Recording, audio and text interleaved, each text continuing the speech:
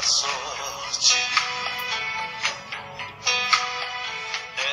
Ela não vai castigar quem ama sempre.